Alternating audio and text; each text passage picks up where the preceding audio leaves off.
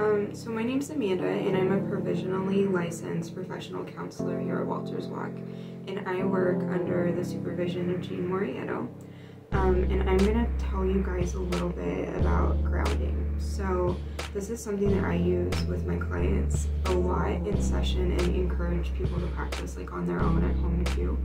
Um, grounding is like a coping strategy that you can do to help yourself connect with the present moment. And it's really, really useful when we're struggling with things like anxiety, panic attacks, those racing thoughts that kind of come with those um, flashbacks. And even like if we have a tendency to disassociate, it can bring us back into what's actually happening around us. Um, so it can be a great distraction to get yourself out of your head and kind of remove those unwanted and intrusive thoughts that all of us get sometimes.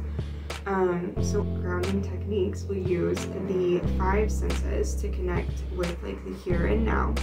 Um, and so it really can be anything you want it to be. It can be like singing to your favorite song in the car really, really loud, um, eating like your favorite fruit or candy or drink and really paying attention to what that tastes like. Um, even things like lotion and like rubbing it on your hands and really enjoying that um, smell and the feeling as you go through that. Um, but I am going to share with you one of my all-time favorite grounding techniques that I teach almost every client that I have, and it's called the 5, 4, 3, 2, 1 technique. Um, and as we go through this, um, it's important to kind of say the things out loud as we do it. So the first step is to just kind of take a deep breath and like remember that you're in this moment and pay attention to where you are. And we're gonna acknowledge five things that you can see around you. So this could be like a lamp that you see on your shelf, a book that's on your bookshelf. Um, if you're in the car, maybe it's the trees going by or a specific vehicle that you've passed or see in front of you.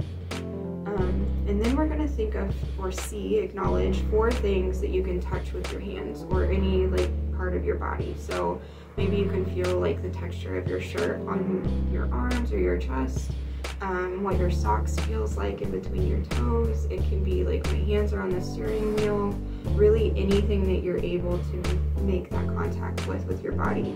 Um, and then you're going to acknowledge three things that you can hear. And so this can be anything from like my stomach's growling because I really need to eat something to I can hear like the traffic outside going by on the street or maybe my dog. Um, and then from there, we're gonna go to two things that you can smell. And sometimes smell can be a hard one to kind of figure out, but maybe if you're outside, it's like, oh, I smell fresh cut grass. It smells like rain's gonna come in. Um, if you have a favorite candle that's in your room with you somewhere, smelling that. Um, lotion, hair products, things like that.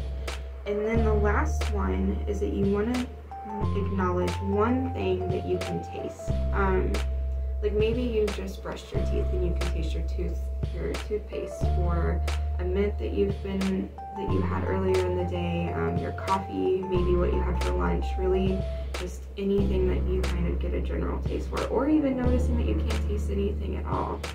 Um, but that's one of my all-time favorite grounding techniques. It's really easy to take with you. You can do it wherever you are. Um, and just as a reminder, grounding is really important to bring us back into that present moment. So that's all I've got.